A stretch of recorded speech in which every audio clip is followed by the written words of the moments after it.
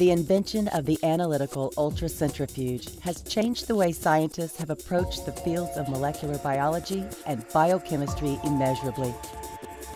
The analytical ultracentrifuge allows scientists to observe molecules in solution and has assisted in the study of DNA, proteins, carbohydrates, and polymers, among many other items. This timeline outlines some of the major advancements in analytical ultracentrifugation, providing a historical snapshot of the device and its importance in the fields of science, medicine, and industry.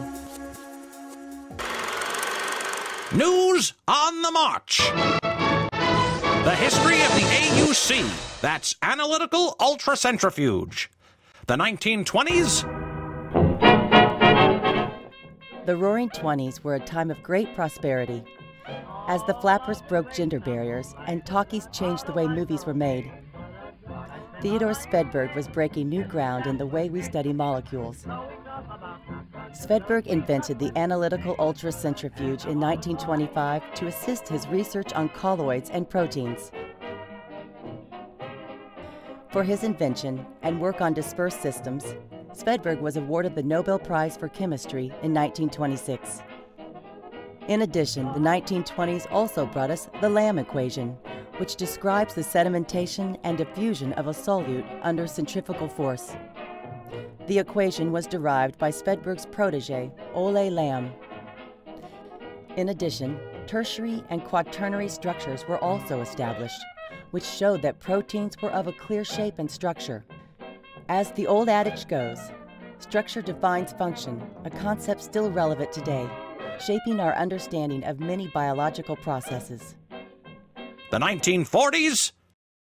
In the decade that saw the first computer being built, the Spinco Model E became the first commercially available centrifuge in 1947. The Model E allowed scientists the ability to make such breakthroughs as developing plasma and blood volume extender methods for transfusions, determining size, shape, density, and electric charge of molecules, and establishing the basis of protein science and molecular biology. The 1950s? While families were seeing beautiful color in their home television set for the first time, scientists Meselson and Stahl were conducting the most beautiful experiment in biology, discovering the semi-conservative replication of DNA.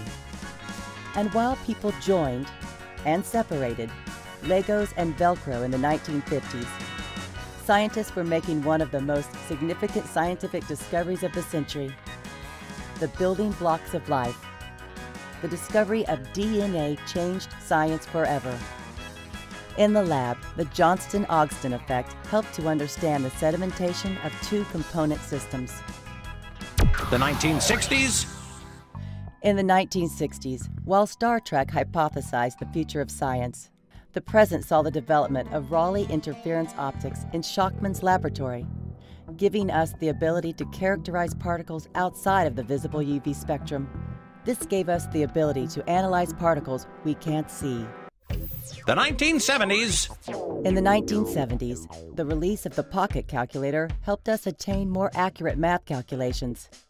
The development of flotation sedimentation techniques opened up capabilities to study low density molecules such as detergents and lipoproteins. The 1990s. While the internet changed our lives forever in the 1990s, so too did Beckman change the scientific landscape with the release of the Optima XLA and XLI analytical ultracentrifuges. Most notably, their capabilities of electronic data collection and analysis through popular software packages such as SedFit, Ultrascan, and DCDT Plus allowed scientists to quantify data with greater precision and more accurate results. 2000s and beyond. The advances brought about by analytical ultracentrifugation can inspire us to anticipate the scientific breakthroughs of the future. AUC technology allows a greater focus on speeding up scientific advances and having a greater societal impact. The technology is expanding into the biopharmaceutical market for drug candidate selection, biosimilars, aggregation analysis, and formulation studies and discoveries in the fields of nanoparticles, proteins, biologics, and many other breakthroughs will change the scientific landscape for decades to come. At Beckman Coulter, we are excited for the future.